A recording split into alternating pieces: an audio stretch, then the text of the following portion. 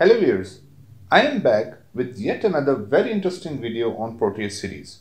In my last video, I have shown you how to draw animated schematic using animated components in Proteus.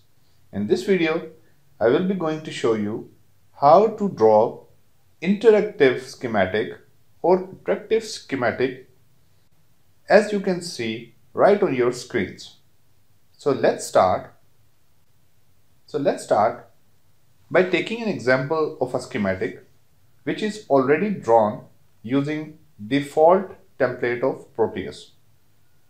So whenever you draw a schematic, the schematic look like this.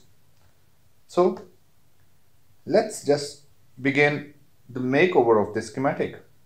First of all, you need to turn off the grid. You can find a toggle grid here just click it. And now you can see that the whole grid is disappear. Next thing you need to go to the template toolbar.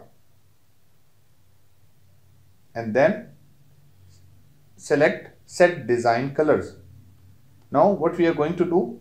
We are going to change the color of the background. Here you can see the paper color is by default white. I will select black and the style of the font is Arial. So I'll just keep it that way. Click OK. Now you can see that the whole background is turned to black. We want to change the color of these components. Again go to template. Now go to set graphic styles. Here you can see now in the global graphic style, you can see the style for the component is by default white. I will change the color to light green. Now close. Now you can see that the fill color of all the components is changed to green. Now I need to change the outline color of these components. Again go to template, set graphic style and now in the same component tab you need to change this color to green. So here you go. The outline of all the components is changed into green. Next thing we want to change the color of all these wires. Let's change the color to blue. Again go to set graphic styles and in style go to scroll down you will find the wire. Click the wire. Here you can change the width of the wire as well as the color. So I will change the color to blue.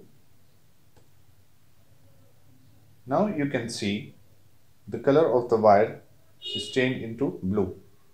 Next thing I want to change the color of this terminal positive and ground terminals. Again from the graphical styles you need to select the terminal here change the color from green to red. So this is how you can transform your complete schematic into into whichever design and color you want. So let's play the schematic and look how beautiful your schematic is looking right now. I hope you like this video.